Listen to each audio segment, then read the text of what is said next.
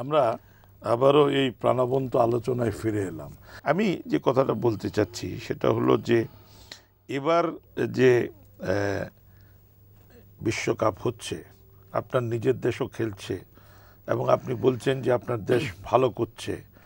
আপনারা পত্রপত্রিকায় মাঝে মাঝে দেখি আপনারা বলেন যে বেঙ্গল টাইগার এখন প্রিপিয়ার, যে কাউকেই কামড়ে দিতে পারে। হ্যাঁ আপনাদের ছেলেরা বুক চেতিয়ে দাঁড়িয়েও গেছে, দাঁড়াতে শিখিয়ে, শিখেও গেছে। আপনাদের মানে কতটুক কতটুক যাবেন আপনারা ভাবছেন? আপনাদের এবং একই সাথে আপনারা ক্রিকেট বোদ্ধা হিসেবে জিজ্ঞেস করতে চাই। আমি একটা অন্যান্য। দলগুলোকেও আমি- মাঝখানে কথা বলব? হ্যাঁ। দেখুন দুজনে ক্রিকেট খেলি দুজনের কাছেই কিন্তু হ্যাঁ, একই দুজনেই আমরা ক্রিকেট খেলি। বলছি যে আপনি তো ওকে বলছেন বাংলাদেশ নিয়ে। তো আমাকে বলতে হবে বাংলাদেশ নিয়ে বা ইন্ডিয়া নিয়ে যা খুশি বলতে আপনাকে আপনাকে একটা বলছি দেখুন যে এটা এমন একটা খেলা ওয়ান বল গেম কেউ বলতে পারবে না যে আজকে এই যে অস্ট্রেলিয়া আপনি দেখুন লাস্ট ছ মাস আগে অবধি ওরা ভাবতো ওরা কিং কিন্তু এখন আপনি দেখুন ওদের মানে কিচ্ছু নেই। মানে মোটামুটি টেস্ট হেরেছে ওয়ান ডেতে হাঁটছে টি টোয়েন্টি হাঁটছে মাঝে একটা হয়তো জিতে যাচ্ছে। তো এটা এইটা কোশ্চেন করা মানে আমি ভাববো যে ও কি বলবে ও আমি জানি না কিন্তু আমার মনে হয় আমরা দুজনেই একই বলতে পারি যে এইটা ওয়ান বল গেম আমি বলতে পারি না আমি জিতবো আজকে কারণ লাস্ট বার যখন ওয়ার্ল্ড কাপ হলো সবাই ভেবেছিল ইন্ডিয়ার চ্যাম্পিয়ন হবে। আলটিমেটলি তো ইন্ডিয়া হয়নি। বাংলাদেশ সুজন কেন হয়নি? কেন? এইবার আপনি বাংলাদেশকে দেখুন। বাংলাদেশ যবে থেকে খেলা আরম্ভ করেছে আজ অবধি। এখন আর কিন্তু সেই বাংলাদেশ যেটা একদম দশ বছর আগে ছিল আর সেই এখন আর বাংলাদেশের অনেক তফাৎ। আজকে বাংলাদেশ হারাতে শিখেছে। আজকে বাংলাদেশ ইন্ডিয়াকে হারাচ্ছে হারিয়েছে অস্ট্রেলিয়াকে হারিয়েছে ওয়েস্ট ইন্ডিজকে হারিয়েছে ইংল্যান্ড ইংল্যান্ডকে হারিয়েছে। নিউজিল্যান্ডকে হোয়াইট ওয়াশ এইবার নিউজিল্যান্ডের এই সিরিজ পুরো সিরিজ হলো তো এখন আমি বলব মানে বাংলাদেশের হয়ে আমি বলে দিচ্ছি আমি যে আপনি ওরমভাবে না জিজ্ঞেস করে আপনি আমাদের পক্ষে একটাই উত্তর হবে যে আমরা ভালো রেজাল্ট করব। হ্যাঁ, আমি আমি আমি সন্তুষ্ট হলাম না।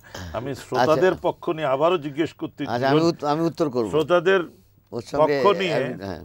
আমি প্রশ্নটা দুজনকে জিজ্ঞেস করছি। কাপটা হোস্ট করছে south Asia will you keep it within south Asia not cup is south African south Asian চা কাপটা এখানেই থাকবে। আমার আমার এটা আমাদের সবারই ধারণা। আমার ধারণা বিশ্বাস। সেটা যদি একটু ব্যাখ্যা করে দর্শকদেরকে ব্যাখ্যা দেখেন। Number one India is playing top level cricket Sri Lanka in Sri Lanka and in subcontinent is a real Dangerous. Dangerous team Bangladesh আমি বলছি না cup Bangladesh is not playing for the cup Bangladesh ভালো that's খেলবে। The ground reality আমরা আমাদের গ্রুপটাও কিন্তু is a group of death বলা হচ্ছে। ইন্ডিয়া আপনার south Africa England England Indies. England গত বিশ বছরের বেস্ট ক্রিকেটে তারা এখন খেলছে। সাউথ আফ্রিকা দেখেন হাড্ডাহাড্ডি লড়াই আছে ভারতের সঙ্গে। ওয়ান অ্যান্ড টু টিমস রেটিংয়ে আমরা ওয়েস্ট ইন্ডিজ তেতি আছে কেন? গেলকে আইপিএলে কেউ ডাকেনি। ওর তো ঝালু ঘানি মেরে দিতে পারে। তো ওয়েস্ট ইন্ডিজের দুটো প্লেয়ার যদি খেলে দুটো প্লেয়ারের Kamran Pollard R Chris Gayle Pollard and Gayle এরা দুজন খেলে ক্রিকেট হলো এমন একটা খেলা ইন্ডিভিজুয়ালিস্টিক তবে একটা কথা আমি বলতে পারি যেহেতু সাবকন্টিনেন্টের খেলা আমাদের স্লো ভার্সনের বোলাররা যদি ভালো বল করে আর ব্যাটসম্যানকে তো ব্যাটার করতে রান করতেই হবে তাহলে আমরা অনেক আমরা কাপটা গেলে এখানেই রেখে দেবো এখানে সাবকন্টিনেন্টেই থাকবে বলে মনে হয়। কারণ অস্ট্রেলিয়ার not in touch England spin বা সাউথ আফ্রিকা এরা স্পিন বোলিং অত ভালো খেলে না। নিউজিল্যান্ড তো কিছু দে উইল স্ট্রাগল স্লো উইকেটে যেটা হবে আর তখন খেলাটা হচ্ছে কখন? ফেব্রুয়ারি মার্চ এপ্রিলে ফাইনাল তখন কিন্তু ড্রাই হয়ে যাবে wicket pitch conditions ball will tend to come slow wickets will be wear and tear is a spinner he knows ball hold করবে। লেফট আর্মি স্পিনার অনেক বেশি অপোনেন্ট টিমগুলোতে হ্যাঁ সব টিমই আছে। And the best spinners are in the subcontinent off স্পিনার্সরা Muralitharan Harbhajan Singh আমাদেরটা বাদ ছেলেটা সাকিব ছেলেটা তো বোধহয় সাকিব left arm, না সাকিব আমি বলছি IPL এসছে। তাকে না আইপিএল এসছে কিন্তু World number one player এখন। ওয়ার্ল্ড নাম্বার ওয়ান এক নম্বর অলরাউন্ডার ওয়ার্ল্ডের এবং অলরাউন্ডার ওডিআইতে মানে ওয়ানডেতে এবং সে বোলিংয়ে নাম্বার টু তো হি ইজ এ আমাদের অনেক দিন পর আমরা একটা ক্যাপ্টেন পেয়েছি, যে very assertive captain he knows what he talks কী কথা বলে he speaks his mind leads from the front by example তো এই ধরনের ও, ওর সঙ্গে আমি একটা মিল খুঁজে পাই সৌরভের সঙ্গে, আমি। বাট সৌরভ এখানে, ও এখনও বাচ্চা ছেলে but it's a matter of time ও কখন but that attitude is very good very positive এবং সে যে কথাটা বলেছে, আপনি যে প্রশ্নটা করলেন, যে আমাদের এক্সপেকটেশনটা কি? পাবলিক এক্সপেকটেশনটা যদি আমাকে জিজ্ঞেস করেন বাংলাদেশে, আপনিও জানেন, এই মুহূর্তে এখানে।